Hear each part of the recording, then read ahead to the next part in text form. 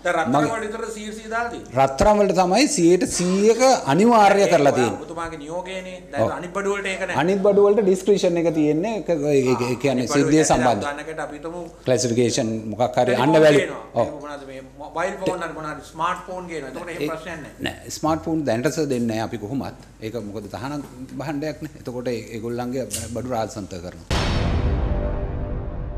දැන් රත්තරන් ආදිය ගෙන්නනවනේ මේ ම, වරාය හරහා එහෙම නැත්නම් විශේෂයෙන්ම ගුවන් තොටුපොළ හරහා. දැන් ඔබතුමාලට පනතෙන් බලතල දීලා තිබුණත් තුන් ගුණයක් අ, අය කරන්න කියලා. එහෙම අය නොකොට මේක දැන් ඉලිසිට් සර්කිට් එකක් හැදිලා තියෙනවා. එතන ඉන්න ඩියුටි ඔෆිසර්ගේ අ, මතයට අනුව එයාගේ ඩිස්කෂන් එකට අනුව යන්නේ. ඒ ඩිස්කෂන් එක එයාට දීලා තියෙන්නේ ඔබතුමා.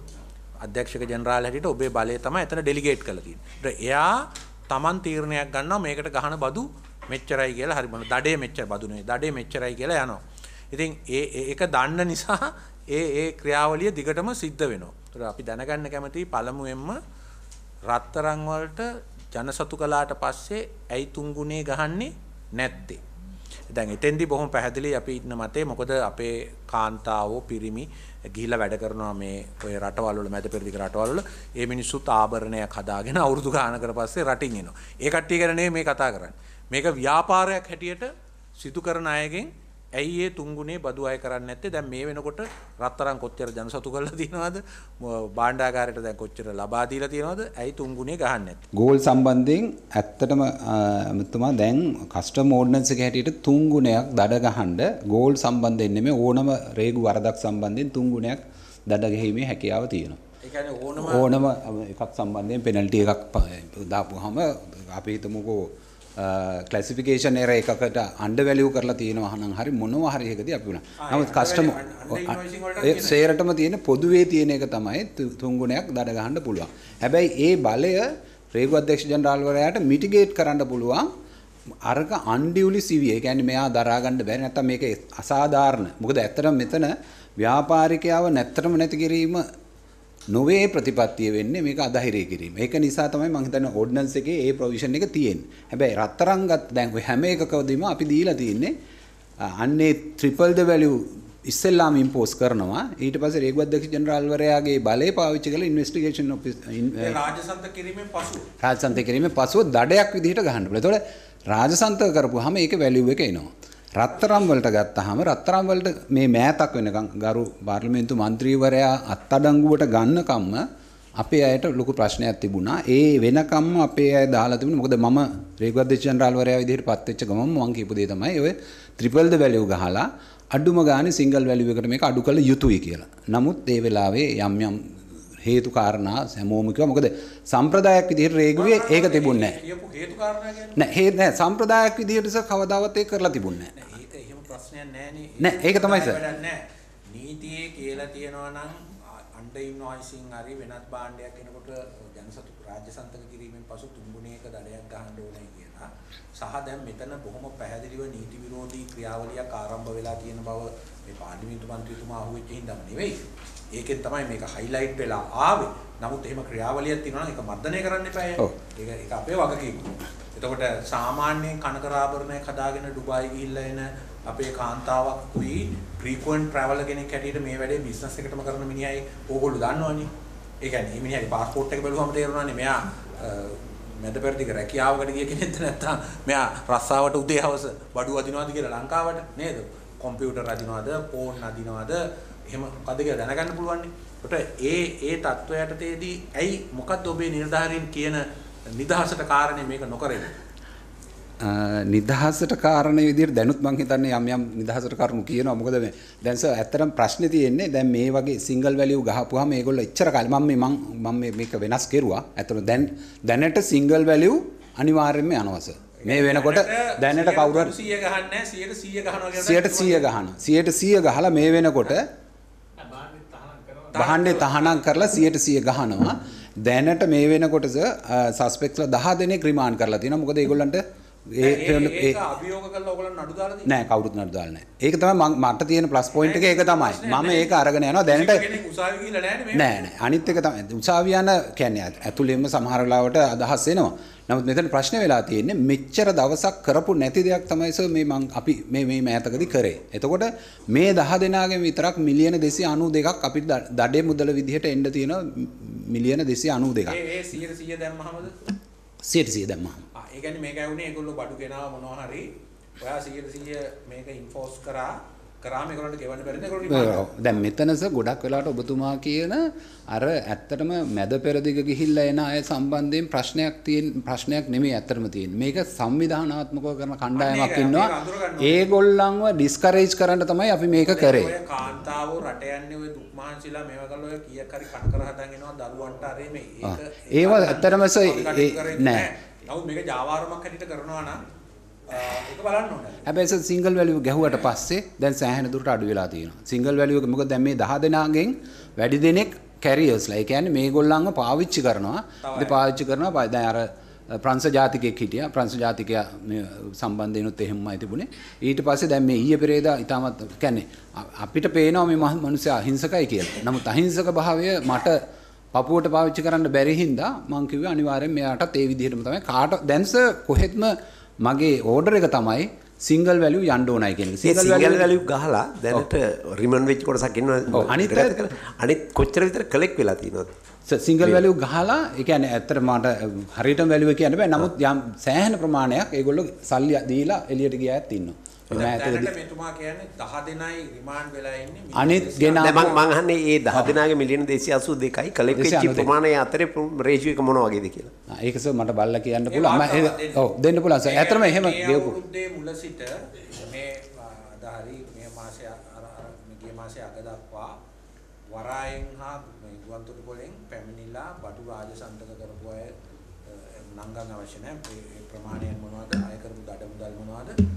අපිට මෙන්න මේක ඕනේ. 100ට 100 ගැහුවා නම් ඔබතුමාලාගේ නියෝගයට පෙර අපිට අය යුතු තිබිච්ච ගාණ කීයද? 300 ගැහුවා නම් කීයද? හරි, ඒක මට දෙන්න පුළුවන්, sir. Loss of revenue to the government can be simply calculated.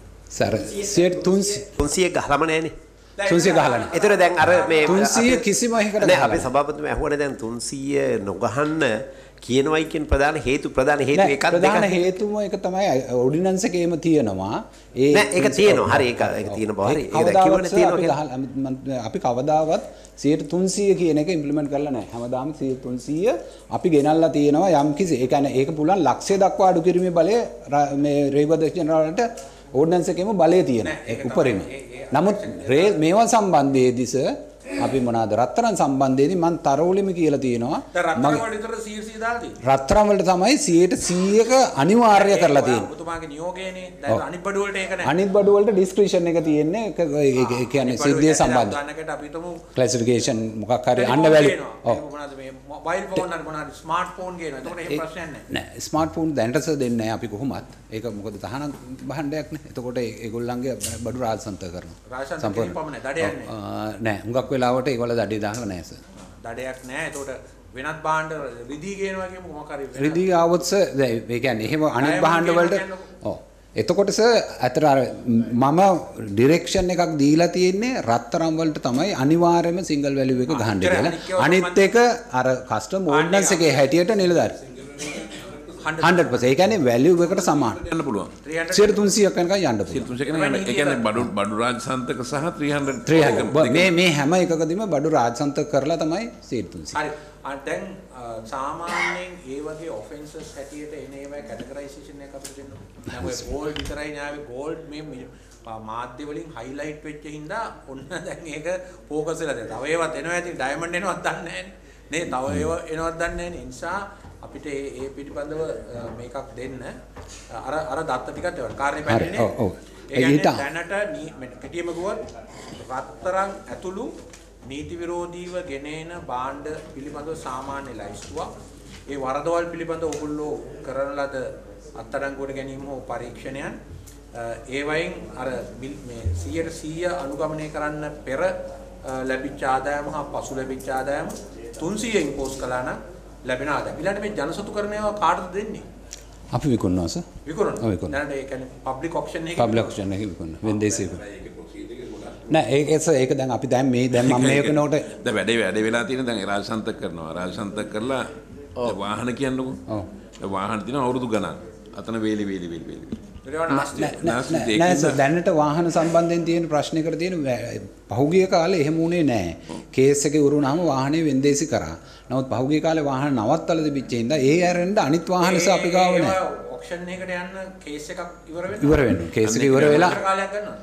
ඒක සර් කාලය ඩිපෙන්ඩ් වෙනවා. සමහර ඒවා. නමුත් සමහර කේසස් මාස 3කට වඩා අඩු කාලෙකින් විසඳෙනවා සර් ඇත්තටම. වටිනාකමෙන් අඩු ඇති නමුත් සමාජයේ ලොකු අවධානයක් ගත්ත සිද්ධියක් අර ටෝයිස් වගේක් ඔබතුමාලා ඩිස්ට්‍රොයි කළානේ. ඒ කළාම සාමාන්‍ය මිනිස්සු ප්‍රශ්න කළා සෝෂල් මීඩියා ප්ලැට්ෆෝම් එකේ ඇයි මේක මේ අහිංසක දරුවන්ට බෙදන්න බැරි. ඔබතුමාලගේ පැත්තෙන් උත්තර විදියට ආවා විධිමත් මාර්ගයෙන් ආනයනය කරපු වෙළඳපළට බලපෑමක් වෙනවා මේක නිදහස් කළොත්. නමුත් රත්තරන් වලට ඔබතුමාලා ඔක්ෂන් කරනවා නම් ඇයි ඒ සෙල්ලම් බඩු ටික ඔක්ෂන් කරන්නේ? සෙල්ලම් බඩු වලට ඇමතුමා එතන තියෙන්නේ ඒ ගෙනාපු ක්‍රමේ නෙමෙයි ප්‍රශ්නේ තියෙන්නේ ඉන්ටෙලෙක්චුවල් ප්‍රොපර්ටි බුද්ධිමය දේපල පනත යටතේ අපි බැඳිලා ඉන්නවා මොකද ඒ ඒ ඒ ඒ ඒ ප්‍රොඩක්ට් එකේ ට්‍රේඩ් නේම් එක තියෙන පුද්ගලයාගේ අයිතිය ආරක්ෂා කිරීමට අපි බැඳිලා ඉන්නේ ඒක පාර්ලිමේන්තු පනතකින් තියෙන දෙයක්. ඇත්තටම අනාථ දරුවෝ ඉන්න තැන් තියෙනවා. ඒවැ ගොඩක්ම ඔය වගේ දෙයක් ආවම මොනවා හරි ඔබතුමාගේ ওই ඩිස්කෂන් එකම පාවිච්චි කරලා ඒ ස්ථානයකට හරි ওই සුබසාධන මධ්‍යස්ථානයකට වගේ දෙන්නවත් වැඩපිළිවෙලක් හදන්න ඕනේ නැත්නම් ඕවා ඒ කියන්නේ ඒක ගැන අපි විශ්වාසයෙන් කරන්න ඕනේ. ඒ කියන්නේ ඒ පිළිබඳව යම් වගකීමක් අධ්‍යක්ෂක ජෙනරාල්වරයා දරලා කටයුතු කිරීම. නැතු මේ වෙළඳ පොලේ සෙල්ලම් බඩු තියෙනවා. මේවා අපි දැම්මොත් එහෙම වෙළඳ පොලට බලපානවා කියන එක නෙවෙයි දැන්. මේ යෝජනාවස රාජසන්තක වන ඕනෑම භාණ්ඩයක් විධිමත් ක්‍රමයකින් විනාශ කිරීමකින් මෙපිට උත්තරයක් ළඟට යන්න. නෑ නෑ ඒක හැම එකටම අමාරුයි නේ, දැන්. පොරලී අල්ලුවාම ලොරියත් එක්ක ගිහලා පොලිසිය නවත්තගෙන නඩුව අහනවා ලොරියත් දිරලා ලීත් දිරලා ඉවර ගම්ම යනවා. ඒ කියන්නේ මේවා ඉක්මනින්ම විකුණලා මුදල් කරලා මුදල් තමයි ඩිපොසිට් කරන්නේ. ඒකයි. කරන්න ඕනේ. භාණ්ඩ තියාගැනීමෙන් කිසිම නඩු භාණ්ඩ තියාගැනීමෙන් කිසි වැඩක් නෑ. මේ. නීතිය ඒක වෙනස් වෙන්න ඕන. රත්තරන් වල තව එකක් තියෙනවා සර් අපිට විකුණ ගන්න දැන් ඔබතුමා අහපින්ද රාවක් තියෙනවා අර සෙමි සොලිඩ්. ඒ කියන්නේ රත්තරන් ගේනවා ජෙල් ෆෝම් එකකින්.